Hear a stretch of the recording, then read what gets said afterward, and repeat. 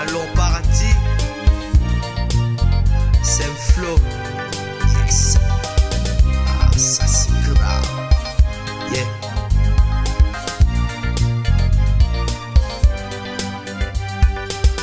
Comme une impression d'avoir volé un bout du paradis. J'ai comme une impression d'avoir fait ma vie un enfer. Je sais que je suis aveugle, mais j'ai pas demandé à l'aide. Je sais que mes parents m'ont donné beaucoup d'affection. Je sais que je suis aveugle, mais j'ai pas demandé à l'être. Tout ça, c'est depuis que je suis né. Et heureusement, ils m'ont donné de l'affection, de l'amour et tout ce que je mérite.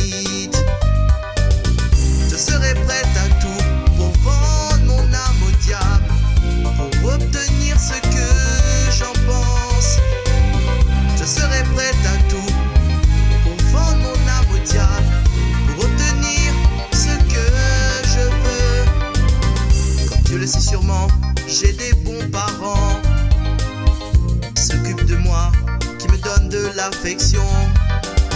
Malgré tout mon handicap, ça ne m'empêche pas de vivre ma vie et de faire des choses. Mais comme je sais me débrouiller, je suis combattant. Même si je suis aveugle, je m'accroche.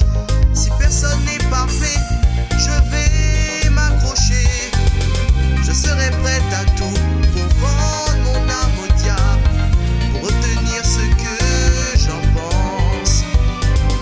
Je serai prête à tout pour vendre mon âme au diable, pour obtenir ce que j'en pense. Comme tu sais aujourd'hui, j'ai grandi. J'ai décidé de me débrouiller.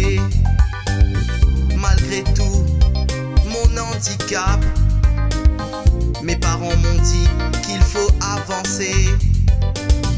Mais j'avance, je continue.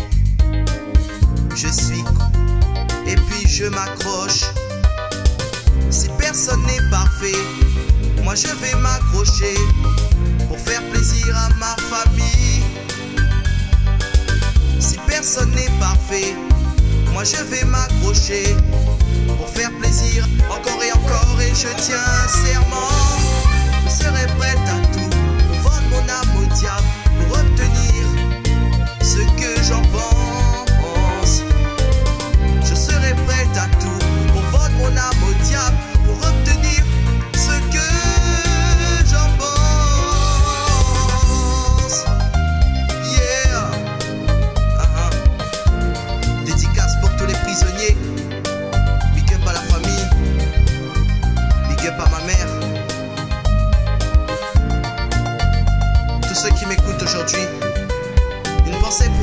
Français tués au Niger.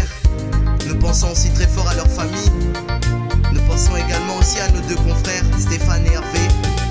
Continuent leurs 365 jours de captivité en Afghanistan. Nous ne les oublions pas. Nous prions pour eux. Seigneur Jésus, veille sur tous ces gens-là, ainsi qu'aux six autres Français enlevés en Afghanistan. Prends soin de ma famille aussi. Prends soin aussi de mon frère et de ma soeur. Prends soin aussi de mon père également qui a un problème de cœur, mais j'espère qu'il va s'accrocher. Mais bon, j'ai une pensée aussi à tous ceux qui se trouvent également dans des lits d'hôpitaux. C'est un message que je vous transmets. Ok.